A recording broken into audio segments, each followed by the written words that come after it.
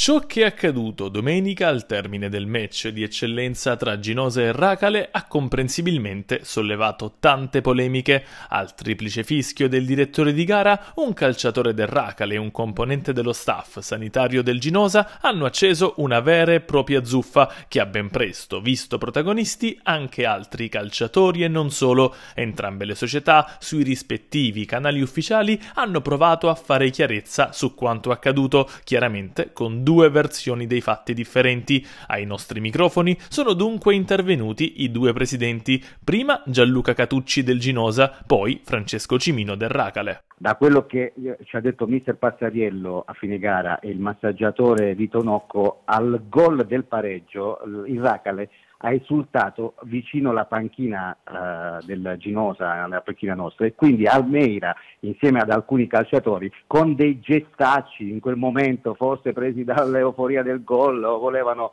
chissà cosa far vedere, hanno fatto dei gesti che non è piaciuto alla panchina naturalmente. E eh, il massaggiatore si è avvicinato ad Almeida dicendogli solo che poteva evitare di, di fare quei gesti, poi lui con uh, poteva far scivolare tutto e andare via perché la partita era stata pareggiata meritatamente, non succedeva quello che è successo.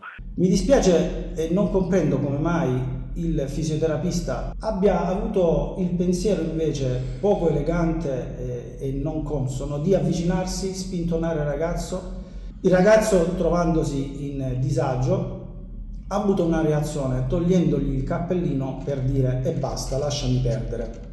Se non che il fisioterapista ha dato un colpo sul viso al ragazzo e gli ha eh, con la mano stretto la gola.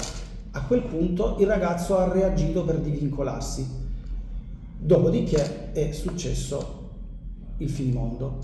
Io spero innanzitutto che eh, il fisioterapista possa rendersi conto del fatto che si è lasciato andare a certe circostanze che avrebbe potuto farne a meno e il mio calciatore sicuramente sarà disponibile a stringergli la mano e a chiudere questa pagina che non è di calcio ma che è fuori dal calcio e che fuori dal calcio dovrà restare.